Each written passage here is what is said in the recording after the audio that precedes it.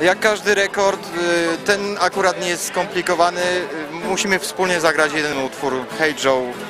I praktycznie każdy początkujący nawet gitarzysta, który zna y, pięć akordów durowych C, G, D, A, E, może, może być uczestnikiem światowego rekordu.